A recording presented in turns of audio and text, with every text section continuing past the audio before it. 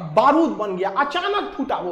Time रहते सुधर जाना चाहिए किसी को भी, वरना अंग्रेज़ों ने भी यही गलती किया था। उस तरह सरकार का समर्थन करने के लिए भी आ जाएँगे कि हाँ भैया, आपने हमारी बात को मान ली थी। जो एक भीड़, एक आग उबल रहा है स्टूडेंट्स के बीच में, उसे रोक नहीं पाएगा कोई। आप बर्दाश्त के बाहर इसलिए हो गया है कि अब पूरा शिक्षित समाज अब खड़ा हो गया।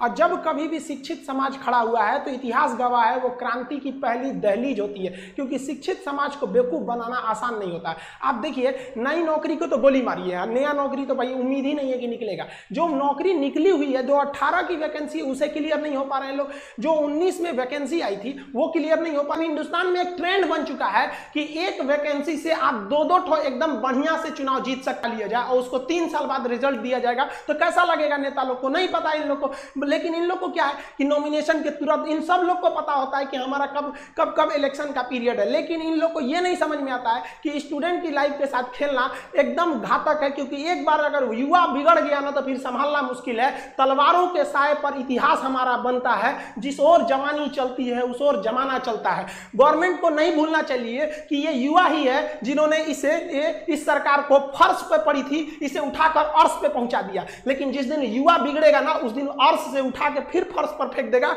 टाइम नहीं लगेगा। जिसको आप धीरे धीरे देख रहे हैं, युवाओं के बीच में इतना क्यों खोल रहा है, मन क्यों खोल रहा है? क्योंकि युवा अपने आप को ठगा महसूस कर रहा है। और हमेशा पढ़े लिखे स्टूडेंट्स का ही आवाज़ दबाया जाता है। रीजन क्या है? कि शिक्षा एक ऐसी चीज़ होती है ना, जो आपके अंदर सवाल पूछने की क्षमता पैदा कर देती है। वो जानते हैं कि सोच पढ़ लिख लेगा ना तो सवाल पूछने लगेगा। अगर नौकरी हो गई तो मेरे चुनाव की रैली में कौन जाएगा? सीईटी लिया दो। क्या मतलब बनता है सीईटी लिया को? सीईटी ले आओ, लड़कों को पीटी में पास करा के फिर मेंस में लड़ाओ वहाँ पर। ये लोग किसी काम के नहीं, इन लोग में एकदम रिफॉर्म की ज़रूरत है। जब तक इन लोग की नौकरी पे सवाल नहीं आएगा, सीधी गवर्नमेंट को रूल बनाइए, भाई साहब, जितना दिन तक एग्ज़ाम लेट होगा, उतने दिन तक इनकी सैलरी रोक लो। या आप सैलरी इन लोग को पता है, हमारी सैलरी थोड़ी ना रुकने वाली है। एग्ज़ाम पाँच साल जाए या दस साल जाए या नहीं हो कैंसिल हो जाए, कोई मतलब नहीं बनने वाला है। इन लोग को किसी चीज़ से मतलब नहीं है। में जो एक गुस्सा था, वो गुस्सा धीरे धीरे एक बारूद बन गया, अचानक फूटा वो।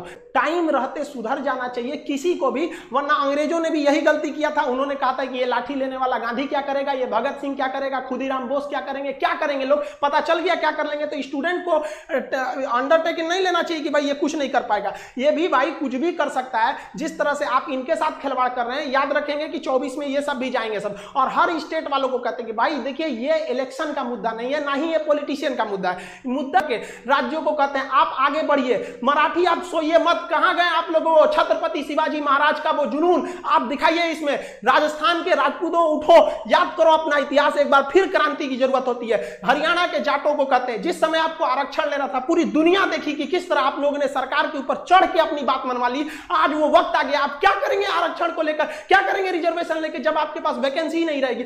हर जगह से राज एक एक राज्य जब तक आप एक नहीं होंगे, तब तक ये आपको बर्बाद करते रहेंगे सब। अगर आप गलती से बोल दिए ना, हमें जॉब चाहिए, हम क्या चाहते हैं? हमको कुछ जाइए हमको बस लड़कों को जॉब दे दीजिए भाई साहब, उनका कितना बड़ा सपना होता है तीस चालीस हज़ार की नौकरी चाहिए, उन्हें नहीं चाहिए आपकी तरह हेलीकॉप्टर, प्लेन और संसद भवन का वो बिल्डिंग नहीं चाहिए, वो बेचारा खुश हो जाएगा केवल तीस से चालीस हज़ार की नौकरी में खुश हो जाएगा बस उसको दे दीजिए। इससे ज़्यादा नहीं चाहिए। अगर कहिए ना तो लोग कमेंट करते हैं कि पहले जनसंख्या कंट्रोल करो। एंटी नेशनल हो गया। तुम गवर्नमेंट के खिलाफ बोल रहा है। अरे भाई, हम क्या खिलाफ बोल रहे हैं? गवर्नमेंट ने खुद बोला था, दो करोड़ नौकरी देंगे वरना अगर ऐसा ही हाल रहा ना तो हम गारंटी देते हैं कि लड़के सड़क पर उतर जाएँगे। और नहीं उतरे ना तो हम लोग उतार देंगे। यहाँ पे हम गारंटी कसम खाते हैं भारत माँ की, अगर नहीं सुधरा ना तो लड़कों को उतार दिया जाएगा सड़क पर। फिर दिल्ली में जगह नहीं बचेगी लड़कों को बैठाने के लिए। दिल्ली का क्षेत्रफल उतना नहीं है जितना भारत के युवाओं हैं। उतना भर जाएँगे ना, फिर जगह नहीं बचेगी। फिर एक क्रांति आ जाएगी यहाँ पर, जिसे इतिहास में लिखा जाएगा कि एक ऐसी क्रांति थी जो भारत के युवाओं ने अपने भविष्य के लिए लिखा था। मत खेलिए, मत ललकारिए युवाओं को,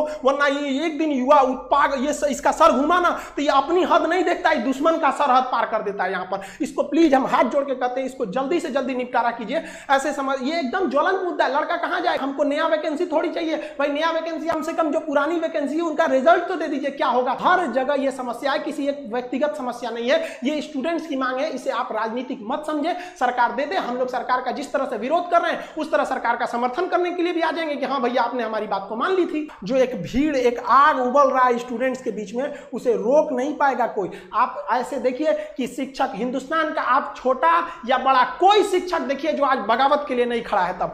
ऐसे स्टूडेंट आप किसी कोई अनपढ़ व्यक्ति अगर ऐसे कर रहा है, जिसको कुछ नहीं पता तो समझ में आता है कि चलो ये किसी के सिखाने में बगावत कर रहा है। कोई शिक्षक कैसे पागल नहीं हुआ है जो अपना पढ़ाई लिखाई छोड़ के आपको बगावत करेगा? स्टूडेंट से हम कहना चाहते हैं कि आप हम लोग की शक्ति है। आप धीमे मत पड़िएगा। जो भी सोशल मीडिया है ट्विटर पर हैश ट्रेंड कीजिए ताकि ट्विटर पागल हो जाए। हम लोग भी अपनी आवाज़ दबने नहीं होगे देंगे और आप स्टूडेंट्स लोग के भी हाथ जोड़ के विनती है कि अपने आवाज़ को दबने मत दीजिए। आप अपने गार्जियन गली, मोहल्ला हर जगह पहुँचा दीजिए। इस चीज़ को कि सरकार आपके साथ गलत कर रही है। चाहे वो किसी भी पार्टी की सरकार हो, हम किसी का नाम नहीं ले रहे हैं, ना ही हमें सरकार से कोई विपत्ति है। हम लोग को ये राजनीतिक नहीं है। ये हम लोग विद्यार्थियों की समस्या को उजागर करने के लिए आप उनके सामने लाए हैं। हम लोग की बातें अगर आपको तकलीफ़ लगती है तो भाई हम इसके लिए आप ही जिम्मेदार हैं। हम सारे स्टूडेंट को कहते हैं, आप जो भी कमेंट करें, जो भी हैशटैग चलाएँ, उसमें दो चीज़ों का ध्यान दें। कहीं भी हिंसा को बढ़ावा देने वाला काम न करें और अभद्र भाषा का प्रयोग न करें। क्योंकि अगर इस तरह का प्रयोग करेंगे तो फिर सरकार को एक बहाना मिलेगा आपके इस आंदोलन को कुचलने का।